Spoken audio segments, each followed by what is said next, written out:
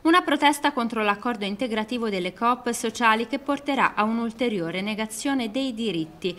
Lo dice la WIL FPL e la WIL Tux Toscana che hanno proclamato questa mattina un presidio delle lavoratrici e dei lavoratori delle cooperative sociali in largo alinaria a Firenze. Noi contestiamo un accordo fatto dalle cooperative toscane insieme a alcune organizzazioni sindacali e riduce notevolmente i diritti e il salario delle lavoratrici e dei lavoratori di questo settore. Avevamo fatto una trattativa di secondo livello, poi la WIL, WIL FPL e WIL TUX era praticamente contraria a non dare premio ai risultati o alcuni elementi retributivi che il contratto nazionale eh, invece norma eh, le centrali cooperative non ci hanno più convocato insieme a CGL e CISL e ci siamo trovati un accordo integrativo che produce invece che ricchezza e miseria per i lavoratori, non siamo d'accordo. È un'intesa che non risponde a quanto previsto dal contratto nazionale e che ha visto la palese estromissione dalle trattative delle organizzazioni sindacali afferenti alla Will Toscana. Dicono i sindacati, un gesto grave e inaccettabile.